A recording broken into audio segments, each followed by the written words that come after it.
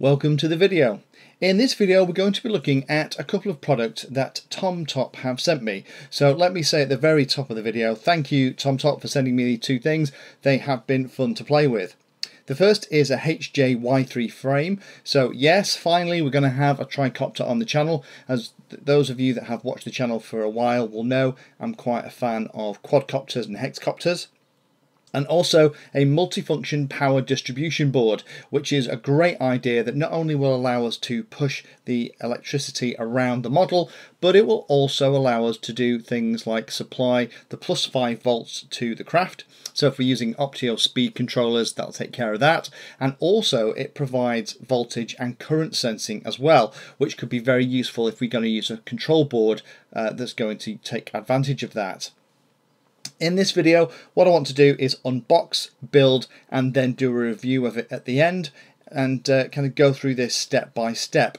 I'll put descriptions for both of these pieces below in the video and then if you're interested you can go and get these from TomTop. So the entire kit comes in one relatively small box and uh, you can see at the end it has the HJY3 frame listed. If we open the box First thing we find is the PDB, the power distribution board that comes with the kit. This is a very basic one and the tail assembly and it also comes with a metal gear servo. There's also a set of instructions. They're not very detailed but if you're used to putting flat pack furniture together you'll be able to follow this. There is also, is this is the multifunction power distribution board that we talked about. Um, comparing it to the normal one, obviously it's a lot simpler. There aren't any electronics on here. The nice thing about the clever power distribution board is it does provide 5.1 volts at about 3 amps and it's a switching BEC so it's nice and efficient. One of the things looking at this manual that's going to be worthwhile doing as part of the video is actually to show you some more of the steps of putting it together. So what I'll do now is we'll actually lay out the pieces and we'll start to figure out how this thing goes into one piece. So here's all the pieces laid out on the mat. We have the arms at the top and then we have the body bottom left hand corner and the tail bottom right hand corner. And as you can see here we have the motor mounts for the arms and the centre plates as well. So what we'll do is we'll build one then the other. The rear tail is a little bit impressive. We have the servo mounting plates that will go in between each side of the tail to allow us to mount the, the, the pivot and the servo. Uh, and again, we're going to use that MG90 servo that came in the kit. And these are little servo mounting pieces. Um, I quite like these. There's a little shims made out of carbon fibre that go behind the main plate and just provide a little bit of spacing. I think that's quite a nice little touch. There are two hardware bags full of screws. Uh, the screws aren't actually put into any particular bag so um, what you'll find at the end is that you'll have loads left over which is great. I like that. I never like having just enough because I always end up dropping one and losing one in the carpet. And then at the bottom left hand corner we have that top and bottom plate. So let me build the first arm and we'll have a look at what that looks like First thing I want to say about this is that I am impressed with the finish of the kit. It is a nicely built kit, it's good quality carbon fibre and the edges are nicely prepared so there's none of the weird marks or uh, burrs or sharp edges that you'd expect on a value for money kit. Um, it has gone together really well as well. Normally, I'd expect to have the needle files on hand to kind of sort out things that don't quite fit, but it all snapped together with almost like a positive lock. So whoever designed this and whoever built it has really thought about it.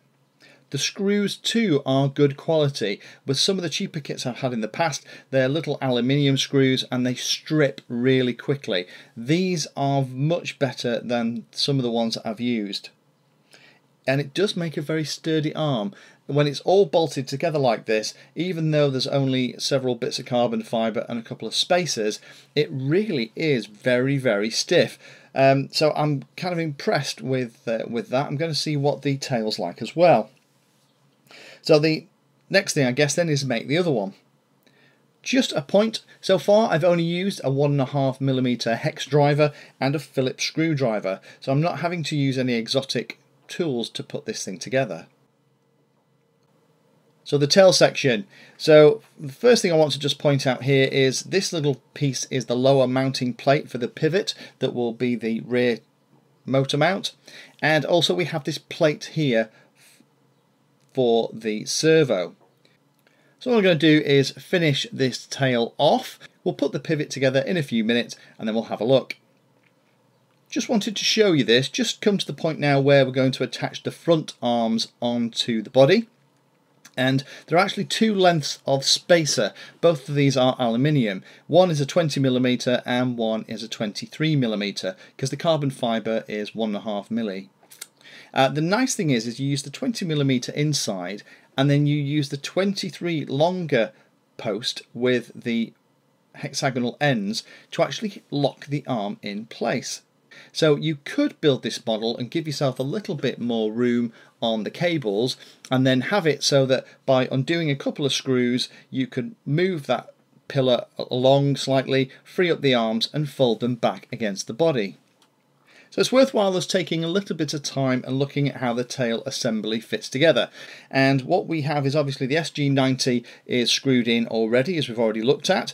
And then we have the piece that the motor bolts onto. The nice thing is, is one end of it is very strongly ridged, and that will provide a very positive lock onto the teeth that's on the end of the servo output shaft. So let's just put the top and bottom bits together so you can see how to do that. So we need to align them and then this pin that comes in the kit we have to slide it in. We have to push it down as far as we can and then the little grub screw that comes in the kit it just put that in the end to stop that working loose and there we have our assembly ready to fit into the end of the tail before we finished.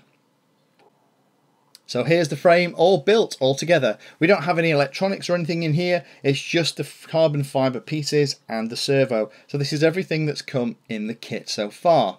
The mounting options that we've got though for the control board and PDB, we have a couple here. There's pre-drilled holes so we can either put the power distribution board at the bottom and the flight controller at the top or vice versa and I've decided that I'm not going to use the multifunction power distribution board this time because what I'll do is I'll actually use a CC3D flight controller that I have in the spares bin to actually turn this into a fully functioning model. So for me, I'm going to put the power distribution board at the bottom. That will keep all of the cables and all of the uh, voltages away from the elements. And then I'm going to put the CC3D on top. And the reason I'll do it that way is it's easier for me to see the CC3D status light when I'm looking at it in the daylight.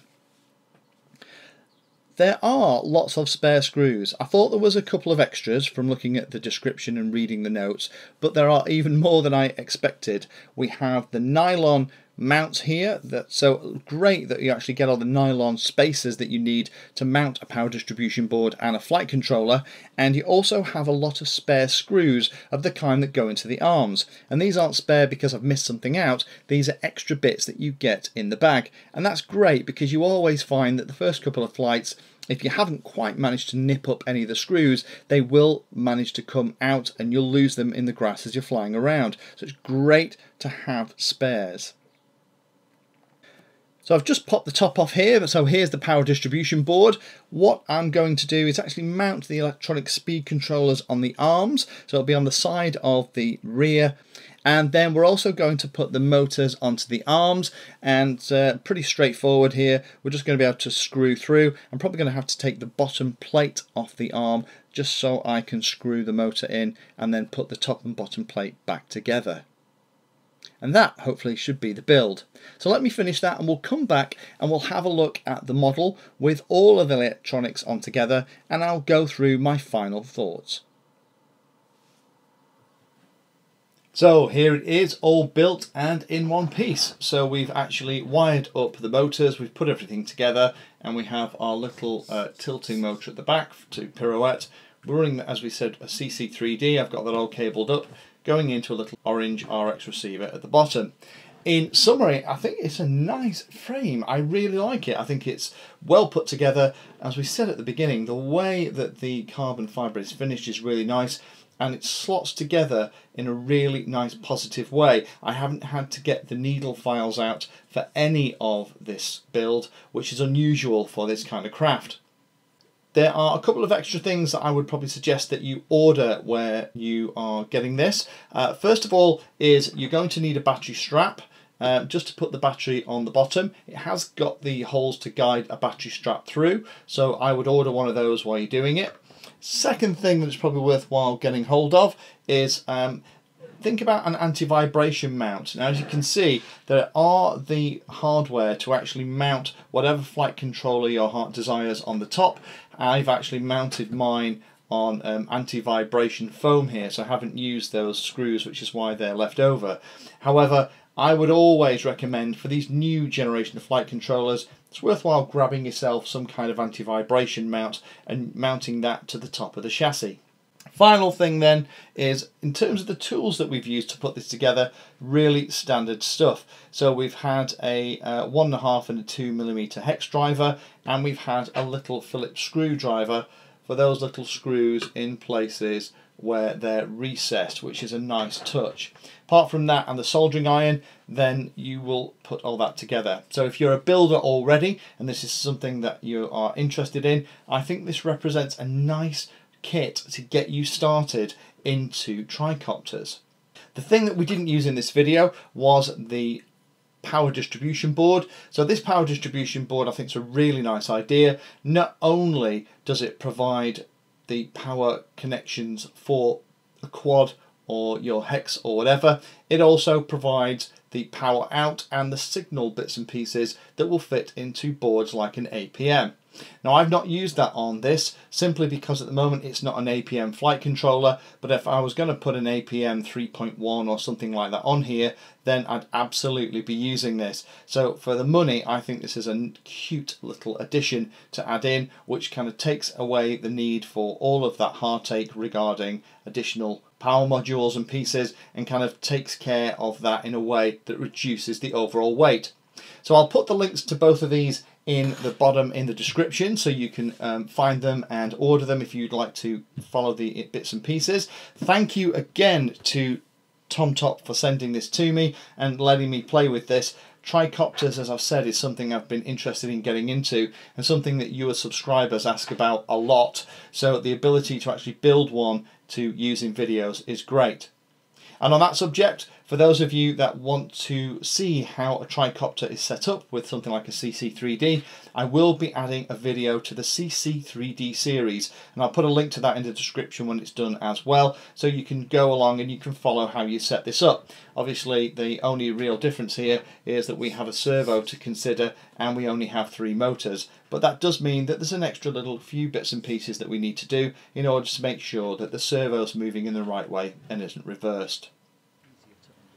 Thank you for taking the time to watch that video. There are lots of other videos on the channel and they're carefully ordered into playlists, so you may find that there are other videos on this same subject that you can go and watch. So I would recommend going into the playlist area of Painless360 YouTube channel and looking around and seeing what there is. You never know what you might find. Thanks for watching, please like, subscribe and happy flying.